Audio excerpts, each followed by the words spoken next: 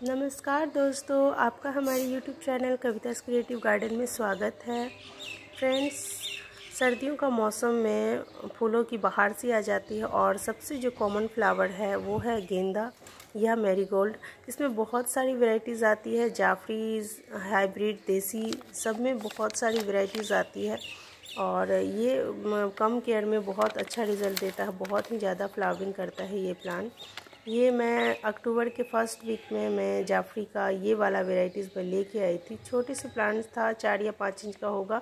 और चूँकि सर्दियों में प्लांट्स की हाइट नहीं बढ़ती है, फूल बहुत ज़्यादा खिलते हैं और गर्मियों में प्लांट्स की हाइट बहुत ज़्यादा बढ़ जाती है इसी वेराइटी की वेराइटीज़ की। और फूल उसमें कम आते हैं या नहीं के बराबर भी आते हैं तो आप केयर करेंगे तो गर्मियों में भी फूल आएँगे।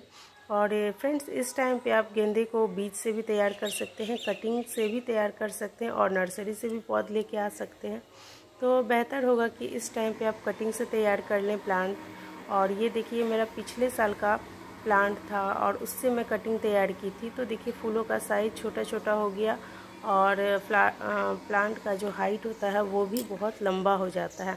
ये पिछले साल का देसी वाली वेराइटीज़ है और इसमें भी फूलों की साइज़ देखिए कितना छोटा हो गया है, लेकिन फ्रेंड्स जब हम घर पे तैयार करते हैं प्लांट खुद से रेडी करते हैं तो उस प्लांट की हाइट थोड़ी लंबी होती है और जब नर्सरी से लेके आते हैं तो उसकी हाइट बढ़ती ही नहीं है।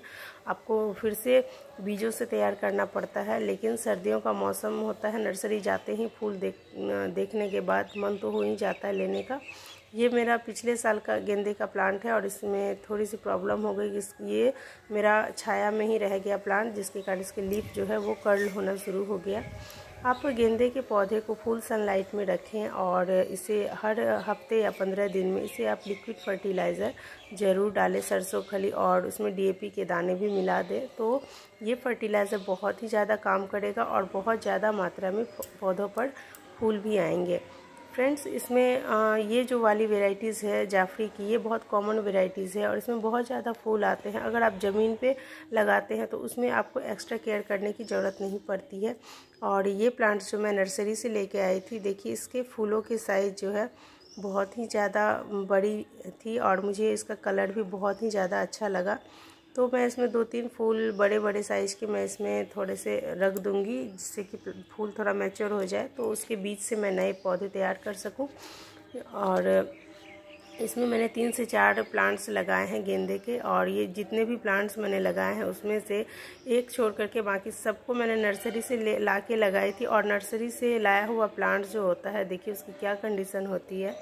और जब हम खुद से तैयार करते हैं तो उस प्लांट की कंडीशन होती है, बहुत ही फ्रेश सा दिखता है वो प्लांट और ये फूल को मैं इसमें अभी इसलिए छोड़ रही हूँ क्योंकि ये फूल थोड़ा सा मेच्योर हो जाए तो मैं इसके सीड से नए प्लांट तैयार कर सकूँ। और अपने घर पे जब तैयार करते हैं तो वो प्लांट बहुत अच्छा फ्लावरिंग करता है और नर्सरी से खिले हुए प्लांट्स जब लेके आते हैं तो वो पौधा अच्छे नहीं चल पाता है। देखिए मैं इसमें दो दो चार फूल मैं इसी में ही बड़े साइज़ के मैं इसमें थोड़े छोड़ दी हूँ। उसके बाद फिर मैं इसे छाया में सुखा लूँगी। तो फ्रेंड्स आप इस टाइम पे ज़रूर लगाएँ गेंदे के पौधे को।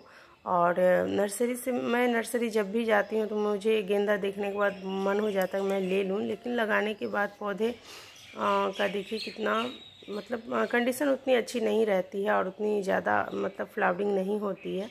आप अगर नर्सरी से लाना ही चाहते हैं तो बहुत ही छोटा प्लांट्स लेके आएँ या कटिंग से नए पौधे आप तैयार कर लें तो बहुत अच्छा चलेगा प्लांट्स और फ्रेंड्स इसे जब भी आप लगाएँ तो अगर इसमें आप ज़्यादा फ्लावरिंग चाहते हैं तो बड़े साइज़ के पॉट पे लगाएँ या ग्रो बैग में लगाएँ तो पौधा बहुत अच्छा फ्लावरिंग करेगा और बहुत अच्छा रिज़ल्ट देगा और बहुत कम केयर में ये प्लांट्स चलेंगे।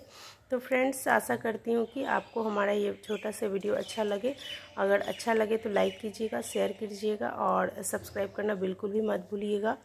फ्रेंड्स, ये देखिए, ये मैं नर्सरी से लेके आई थी, देसी वाली वेराइटीज़ इसमें देखिए आधा फूल ही खिला हुआ है।